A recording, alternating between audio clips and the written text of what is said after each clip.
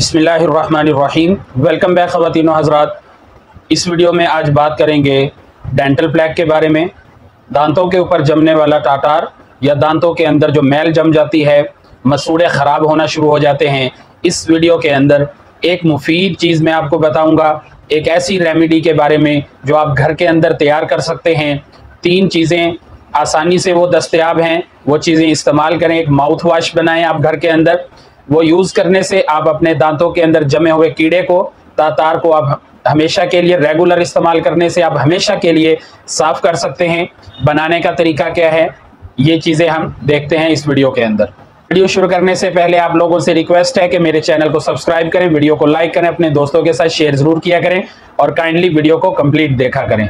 नाजरीन, हमारे दांतों के अंदर तातार कैविटीज़ किस तरह होती हैं? हमारे माउथ के अंदर बहुत सारे बैक्टीरिया जो ग्रो करते हैं बैक्टीरिया जो हमारे दांतों के अंदर रहते हैं, वो क्या करते हैं? अपने आप को जो हम एंटीबायोटिक्स खाते हैं या हमारे माउथ के अंदर जो उनको मारने वाली चीज़ें होती हैं, जो सब्सटेंसेस मौजूद होते हैं, उनसे बचने के लिए वो दांतों के अंदर मौजूद बैक्टीरिया क्या काम करते हैं?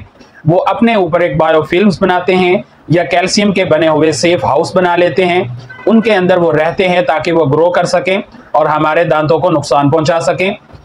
इसके अलावा हमारे जिसम के अंदर विटामिन सी की कमी की वजह से बहुत सारी और भी खराबियाँ होती हैं।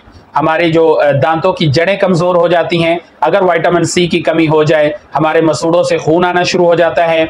ये सारी वजूहत की बिना पर हमारे दांतों के अंदर और बैक्टीरिया के ग्रो करने की वजह से बायोफिल्म्स बनाने की वजह से क्या होता है कि हमारे दांतों के ऊपर प्लैक जमा होना शुरू हो जाता है, जिसकी वजह से दांत बैड ब्रीथ का मसला भी बनता है, मुँह से बदबू आती है और इसके अलावा दांत पीले हो जाते हैं तो ये सारे मसाइल हो सकते हैं। इनका एक ही हल है कि इस प्लैक को किस तरह उतारा जाए। सबसे बेहतरीन हल है कि आपको डॉक्टर के पास, डेंटल सर्जन के पास जाना चाहिए।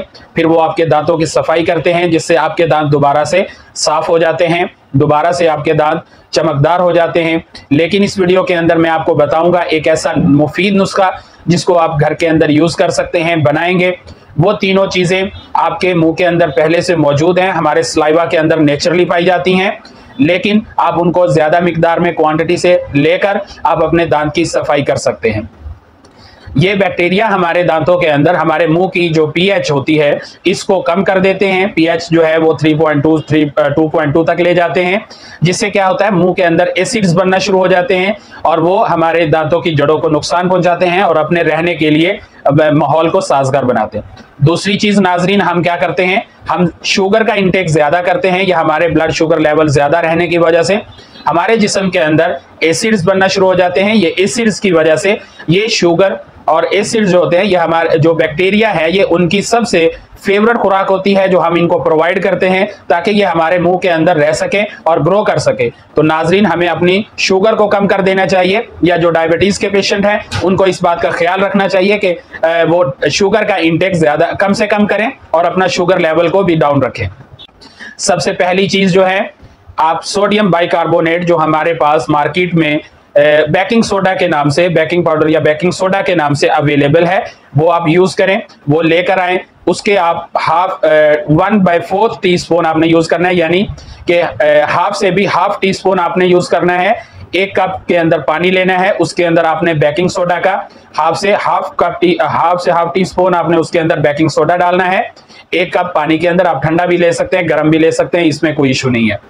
फिर इसके साथ एक और आप चीज़ ने, आपने यूज़ करनी है एक चीज़ हाइड्रोजन पारोक्साइड आपको फार्मेसी से इजीली मिल जाएगा। किसी भी मेडिकल स्टोर से आपने हाइड्रोजन पारोक्साइड आपने ले लेना है थ्री परसेंट और वो भी आपने हाफ़ से हाफ़ टी स्पून आपने उसके अंदर, यानी one by fourth table teaspoon जो आपने टी स्पून यूज़ करना है टेबल स्पून यूज़ नहीं करना बेकिंग सोडा, सोडियम बाइकार्बोनेट, ये हमारे नेचुरली, हमारे स्लाइवा के अंदर पहले से मौजूद होता है तो इसका कोई साइड इफ़ेक्ट नहीं है।